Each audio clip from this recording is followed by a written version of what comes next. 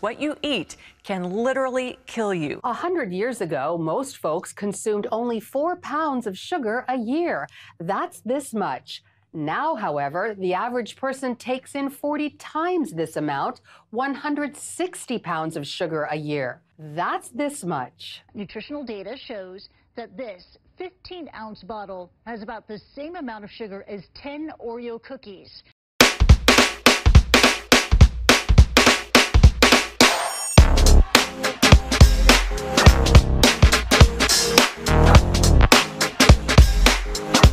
Going on beautiful people? Welcome back to my channel or if you're new here, I'm Stephanie. I have a passion for fitness and for making others laugh so don't forget to subscribe. That way you become a part of my YouTube family. And this week I challenged myself to do a week without processed sugars. Let's start with what the recommended daily allowance of sugar is. For an average person, it's about six to nine teaspoons of sugar a day.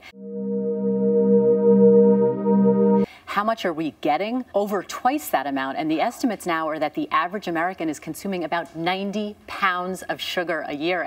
Even a glass of skim milk has around 11 grams of sugar. Sugar is in fact toxic. It even suggested sugar is as dangerous as cigarettes and alcohol. A clear relationship between sugar and cancer leads scientists to two conclusions.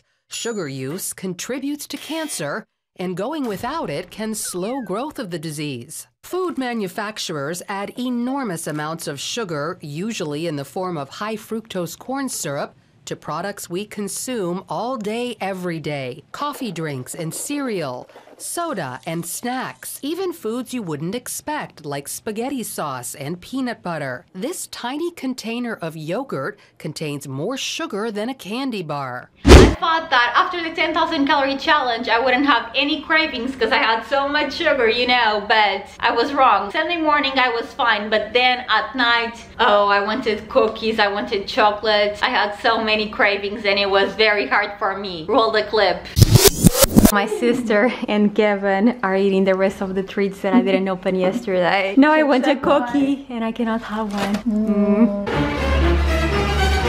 This just proves that the more sugars you have, the more you crave them. When I eat less sugar, I feel like the less I crave it. And when I start having more sugar and more chocolate and stuff, the more I crave it. I know that everyone is like this. So let's see if you can do this challenge next. Let's just go back to Sunday, the first day of the challenge and see what I've been eating this week. If you go to my latest video, you kind of can see some of my meals and my body transformation throughout the week. So I recommend you to do that. It's been hard, you know, sugar is on everything and 90% of the stuff that you see at the market.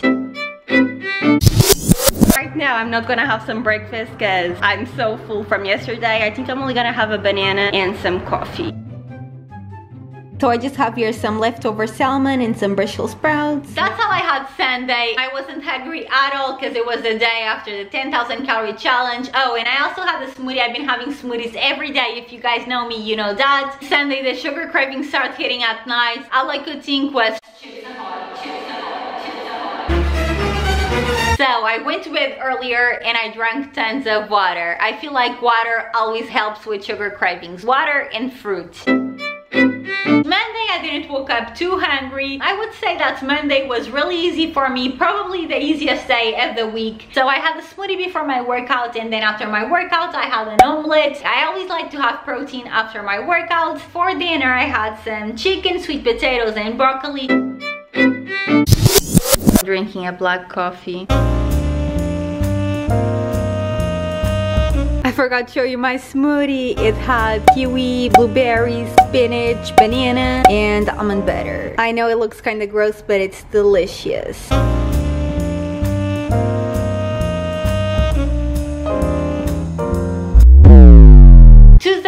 Say was a bit more harder than Monday. I was craving a s'mores cookie after my workout. You know, those s'mores cookies that I'm obsessed with. Yeah. I had a bowl of fruit instead and I had so much water. I've been drinking so much water this week. It's unbelievable, guys. I've been peeing a lot. I woke up so hungry and with a huge headache. Oh my gosh, it was a hard morning, guys. For breakfast, I had a toast with almond butter and banana, one of my favorite breakfast meals ever. You know that my favorite breakfast meal is a bagel with vegan butter, turkey ham, and egg, but I cannot have that this week because bagels have sugar added. So that's probably been the worst part about this challenge, you know, guys, because I really miss my bagel. Obviously, I had another smoothie and I also had a Larabar. Do you know that Lara bars don't have any sugar added? Most of the protein bars, unfortunately, they have sugar added. And I love protein bars, so that really upsets me. And Wednesday, I had the same thing as Tuesday for dinner. And it's actually the same thing that I'm gonna have today. Some haddock with cucumbers and sweet potatoes. Thursday I woke up feeling so good, full of energy and motivated for the day. I had a big breakfast. Thursday in the afternoon I had a smoothie, some fruit and some skinny pop. At night I was craving a burger so so bad guys. So me and Kevin ended up making a burger at home. The only problem was to find a burger bread without any sugar. Honestly I couldn't find any. I was so upset. We ended up having a burger with other type of bread but it was delicious. And it was a burger with haddock fish. Today is Friday, we only have two more days until this challenge is over. Let me show you what I had for breakfast today.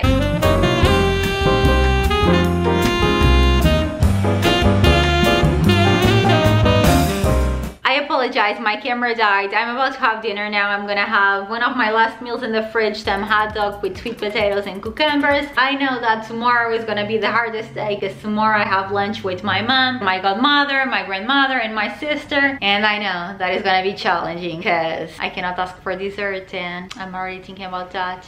Yeah.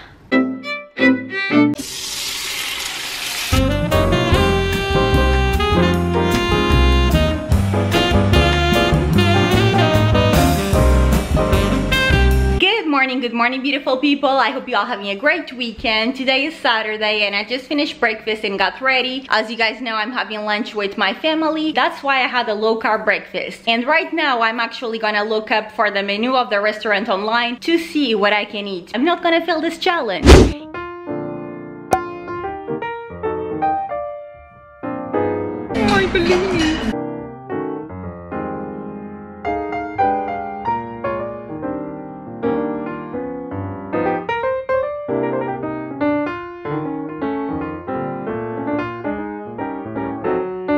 Lunch was delicious. I'm still full. Probably I'm gonna have a Larabar soon because I'm craving one. I don't know what I'm gonna have for dinner yet. Good morning, beautiful people. Currently, I'm having my chamomile tea. I usually never have tea in the morning. Today, I decided to go for it. This is the last day of the challenge, so why not? And guys, I bought a new chair yesterday. I love it. It's so nice. After we had lunch, we went to Urban Planet and when I saw this chair, I felt in love immediately. And now it's mine. Yeah, I'm feeling pretty good today, full of energy. Like I said in the beginning of the video, the less sugar you eat, the less you crave it, and that's how I feel now. I don't know where I'm gonna have for breakfast yet, but I will show you guys that. And for dinner, I'm gonna have the same thing as yesterday, and I also wanna show you guys what's inside of my fridge, because I feel like this is a perfect time to do that. Welcome to my fridge, you guys. On the top, I have bread and fruit. In the middle, I have veggies and eggs. Here, I have some milk, egg whites, yogurt, and all the sauces. Bagels, I didn't have any bagels this week because they have sugar added. This is the bread that I like. It has no sugar, grapes, blueberries, blackberries. I love my berries. And some strawberries. And then we have some hummus and vegan butter. In the second shelf, we have some spinach, three big bags of spinach, some asparagus, and Brussels sprouts, cucumber, some green onions, green bell pepper, and some red bell pepper. And here I have some eggs. In the bottom, I have some cashew milk, some egg whites, some brown rice, English muffins. These are delicious. Sweet pimento paste. This doesn't have any sugar added. Mayo, pickles, Kevin's jelly, plain yogurt, but I didn't have yogurt this week. This is from my 10,000 calorie challenge. Also, no sugar. And then some syrup. In this store over here, we have ham, we have vegan cheese, sausage, some pepperoni, and then we have apples, oranges, a kiwi, and some garlic. More cashew milk, more egg white, sugar-free maple syrup. I couldn't have this this week, or ketchup, mustard, sriracha sauce, this creamer that is delicious. I miss it. In the freezer, I have some salmon, shrimp, and chicken, some frozen broccoli. I also have this haddock fish, no sugar, and some frozen bananas and strawberries. Today's breakfast is a sandwich with vegan cheese and turkey ham, some strawberries, one egg, one cup of egg whites, and some green onions in my tea. Right now, I'm actually about to conclude editing today's video. That is this one, so I need to hurry up. Yeah, this challenge was challenging. The first days were the hardest ones, and then it got better. Like today, I'm feeling super good. I'm not craving sugar at all. The Lara bars help a lot. The hardest thing for me was not having ketchup because I'm obsessed with ketchup and I put ketchup in everything and not having bagels because I love my bagels and you guys know that. I would say that I didn't follow this challenge 100% unfortunately. Had one chocolate that it said no sugar added but then it had this other sweetener that I never heard about. That was my only mistake. No, not my only one. I also had three scoops of protein powder this week and they have one gram of sugar. I could have bought other protein powder but yeah, I didn't. In a scale 1 to 100, I give myself